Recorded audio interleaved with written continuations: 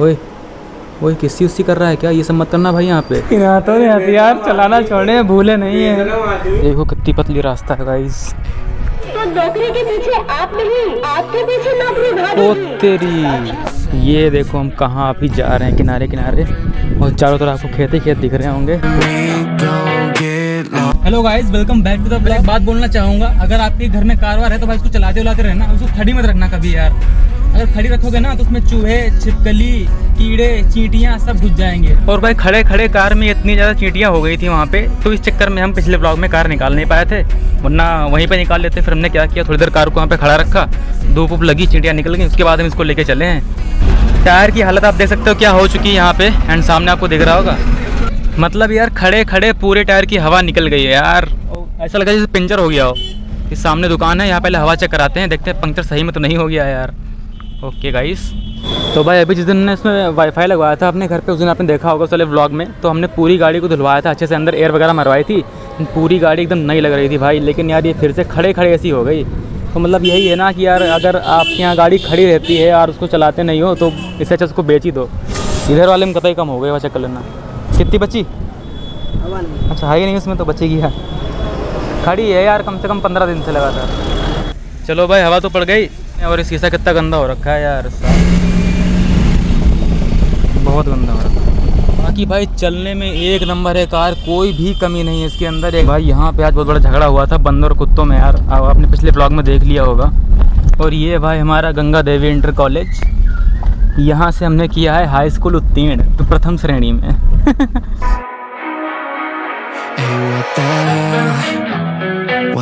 Hey, अरे यार।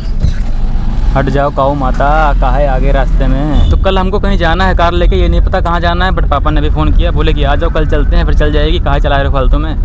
तो उनका ठीक है, फिर घर ही आ रहे हैं वापस। यार सामने ट्रक फंसा हुआ है, बहुत भयंकर तरीके से, इतनी लंबी जाम लग गई यहाँ पे तो। बाकी भाई, खाटू श्याम जी वाले मंदिर पे इतने सारे झंडे लगा दिए गए, देखना मतलब चारों तरफ़ से झंडे झंडे वाह भाई, अलग ही नज़ारा आ रहा है ऊपर का तो। ना भाई क्या मस्त लग रहा है। पूरा व्हाइट कलर का हमारा खाटू श्याम जी का मंदिर चलो भाई आ गए अपनी गली में और खड़ी करते हैं कार। भाई देखना यार बंदर आ गए सब पेड़ वेड़ गिरा दे रहे हैं भाई वहाँ पे। ये आ गया बिल्कुल पास में आ गया बिल्कुल पास में।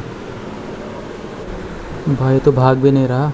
भाई ये हमारे घर पे इसे घुमा करते हैं सब यार बंदर अंदर। ये देखो। लो हम सामने खड़े हैं फिर भी हम इनको दिख नहीं रहे हैं। वो देखो बर्तन वर्तन पड़े वहाँ पे ये देखो। अबे तीन तीन आ गए। अबे। अबे टिफ़िन में क्या है लंच गया और फिर लग गया उसमें कुछ मिल गया इसको। और उसमें खिचड़ी रखी, थाली रखी उसने खाओ भाई, मिल गया आज तुमको। ये लो ये लो। लो, अच्छी नहीं लगी यार मतलब अच्छी नहीं बनी होगी मेरे ख्याल से। भाई कैसे भगाएँ इनको यार? कोई लोग बताओ। कमेंट वमेंट करके। फिर आ गया, फिर आ गया। ये देखो, फिर टिफ़िन उठा रहा है। और इस बार ना हमें लग रहा है उड़ा देगा, लेकिन यार वो स्वाद ले रहा है कि कैसी बनी है, बस खा नहीं रहा है यार। अब खाना शुरू किया है हल्की हल्की से हमें लग रहा है आलू आलू खा रहा है सब बीन के। खा लो भाई, हैं? तुम्हारे रखी थी वहाँ पे, खा लो। देख लो गाइस यहाँ के बंदर ना बिल्कुल डरते वरते नहीं हैं। वो हमको इग्नोर कर रहा है। लो, एक और आ गया, एक और आ गया। क्या, किसी उसी कर रहा है क्या भाई? वही वही किसी उसी कर रहा है क्या? ये सब मत करना भाई यहाँ पे। ये ये आ गए।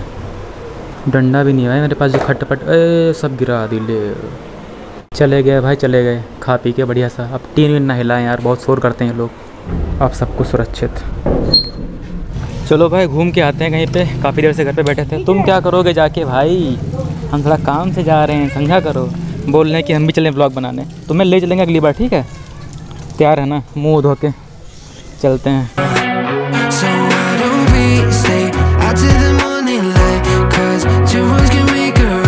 तो अभी हम आ गए हैं शाहजहानपुर रोड पे। अस्मित के पास आए थे आज बड़े दिन बाद मिलने के लिए। काफ़ी दिन से उससे मिले नहीं थे। तो अभी आ रहा है वो बाथरूम में, बोल रहा था। तो हर समय बाथरूम में घुसा रहता है, पता नहीं क्यों। भाई साहब, हमको रोड पे बुला के यहाँ गेम खेल रहा है लड़का, पबजी। और हम वहाँ रोड पे खड़े, इसका वेट कर रहे हैं कि अब आएगा अब आएगा। हमसे कह रहा, बाथरूम में देख रहे हो आप लोग, इसको एक्सपोज कर रहा हूँ मैं, आज आपके सामने रंगे हाथों उसको। ये देख लो, गाड़ी चला रहा है इस समय। भाई यार। क्यों बंद करें हम? पहले ये बताइए आजकल व्लॉगिंग चक्कर में पबजी खेलते नहीं है बस। भाई 20 मिनट हो गया हमको यहाँ पे और जब हम आए थे यहाँ पे ना तब दिन था और अभी बाहर रात हो चुकी है। लेकिन ये बंदा।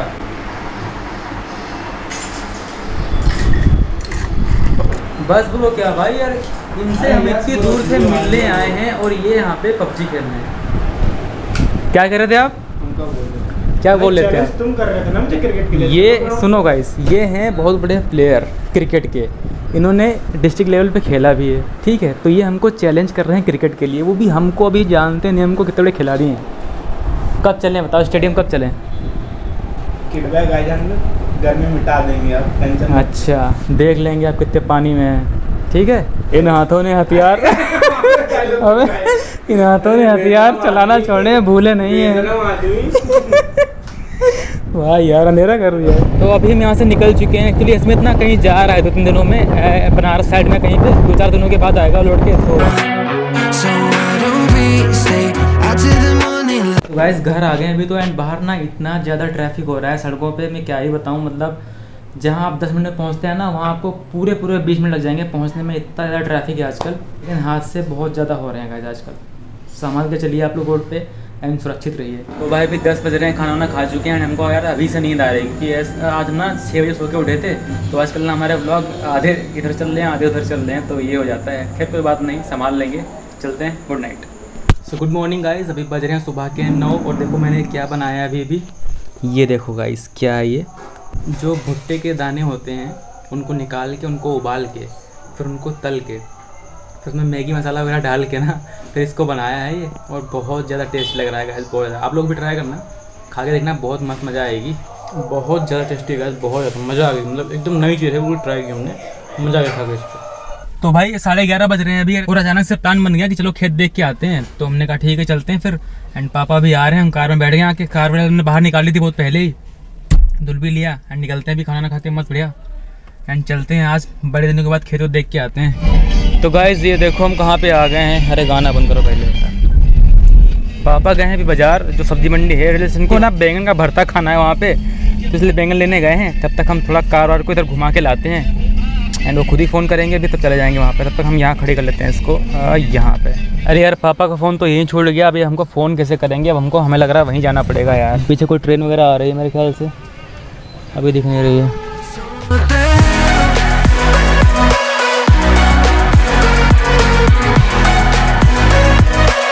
तो भाई, आ गए अपने खेतों के पास अहरोरी में, ये सामने खेत थोड़ा पास जाना है, उनको देखना है उनमें कि पानी वानी है कि नहीं है बट यहाँ पे रास्ता वास्ता तो है नहीं। यहाँ से जंप मारते हैं, पहुँच जाएँगे उधर। आगे भाई, और ये पतली सी रास्ता बनी है, इस पर जाना है। देखो कितनी पतली रास्ता है गाइस इसीलिए हम शूज़ पहन के कहीं जाते नहीं हैं, क्योंकि कीचड़ वीचड़ होता है ना, बारिश का दिन चल रहा है। और पापा बोल रहे हैं, कार चला रहे हैं तो शूज़ पहन के आना चाहिए। क्या ही बताएँ उनको हम। सांप वाप ना मिले। फ़िलहाल पानी तो है यार इसमें मतलब भर का। ठीक है, फ़िलहाल पानी वानी तो है। बौर अभी नहीं आया है, लेकिन उस, उसमें आने में थोड़ा टाइम लगेगा। जो मोटले चावल होता है ना, उनमें बहुत जल्दी आता है, और ये है चिन्नौर तो इसमें थोड़ा देर से आएगा ना, इसीलिए। एंड अभी चलते हैं उस साइड में, दूसरा वाला खेत देख के आते हैं। फ़िलहाल ये जो एरिया है ना, एरोरी का जिधर से हम अभी होते हुए आए हैं, बहुत ही खूबसूरत है यार। हम तो सोच रहे हैं कि जो अगला व्लॉग वगैरह बनाएँगे, जो नए लोकेशन वगैरह हम ढूंढ रहे हैं तो यहीं का बनाएँगे। यार काफ़ी मस्त मस्त लोकेशन है यहाँ पे, मैंने अभी देखा। तो मैंने सोचा कि यहाँ बना सकते हैं, यहाँ पे बहुत अच्छा बनेगा। तो इधर भी पानी वानी है बट यार यहाँ पे थोड़ा खाली सा हो गया, गड्ढा सा। मतलब यहाँ पे मिट्टी थोड़ी सही नहीं थी एंड बाकी सब बढ़िया है यार। दूर तक, पूरा लास्ट तक, वहाँ तक सब मस्त है एकदम।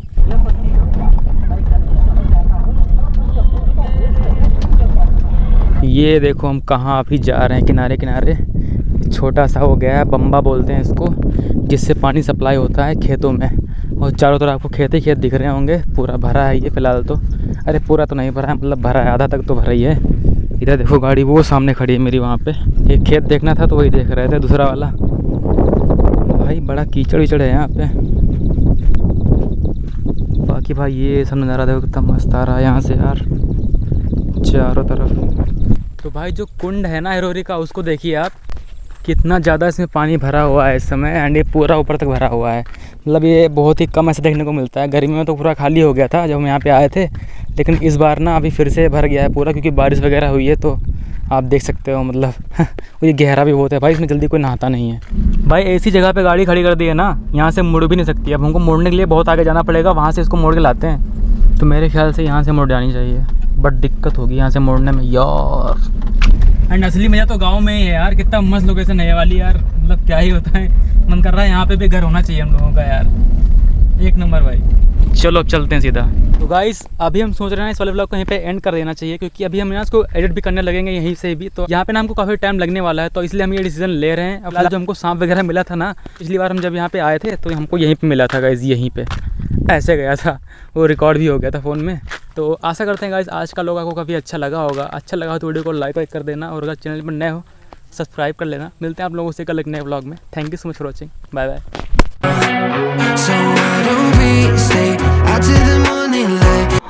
ये क्या हो रहा है भाई? कंप्यूटर भाई कंप्यूटर गाना चल रहा है यहाँ पे। ये गाँव में क्या है? नौकरी के पीछे आप नहीं आपके पीछे नौकरी ओ भागेगी तेरी। कहीं भी सही जाइए। आप जमाना डिजिटल हो रहा है। अरे। हर जगह कंप्यूटर से काम हो रहा है। और कह रहे हैं अगर आप कंप्यूटर सीख लेंगे तो आपके पीछे नौकरी भागेगी। वाह। कंप्यूटर का कोर्स करना ही होगा। अरे। आप